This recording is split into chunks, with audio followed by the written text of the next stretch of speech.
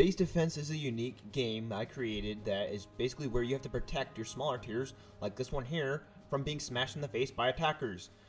There are three roles of this game. First, you have the capper, that caps the base, or you could just be an attacker that destroys the cappers, or you could be simply a guard that has to protect them. However, playing this game can be a little difficult.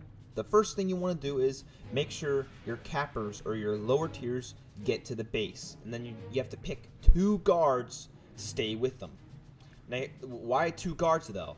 First, it, it, there's multiple rounds of this game, and two guards just make sure that the base doesn't get overflown with protection so the rammers can't even kill the cappers in the first place. But you want to make sure it's balanced. That's why you can only have two attackers at a time. However, you could have three attackers though. And then what's the main goal of attackers? They have to ram the cappers in order to win. Now the two guards, as shown here, the M103 and the I3 are supposed to protect me before round 1 starts. Now as I announced that round 1 starts, the attackers can then move in and have to ram me, but there's only a certain amount of time. There are three rounds to this game. Each are about 45 seconds to a minute long.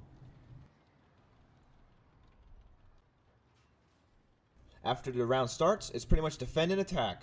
However, the attackers do need to think of strategies before they just go in there because games may eventually wind up like this, where you don't even get to take off a single health off the capper.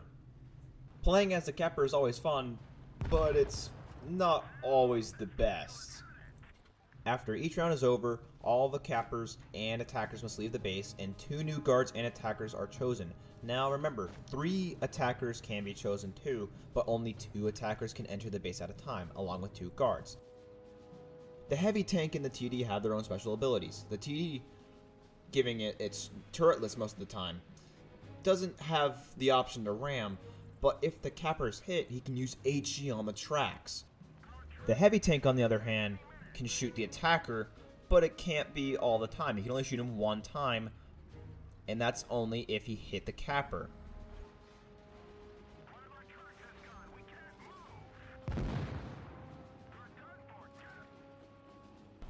Playing as a guard is a little hard because you do have to defend against those attackers that want to ram them, but in this case, it is a little bit easier because I am a big tank and the cappers can hide behind me. If you use long tanks, for example, the Tog 2, the cappers can hide behind you. This can be great for your advantage. Being an attacker, defender, or even a capper, this game can become successful. What role do you favor? Let me know down in the comments below what role you think is best. Even though each role has its pros and cons, you can be able to use each of them effectively. Being a capper, getting to be able to run away from tanks, hide behind your guards.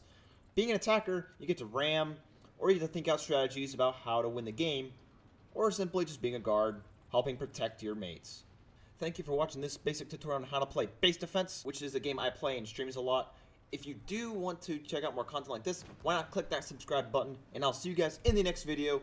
Goodbye!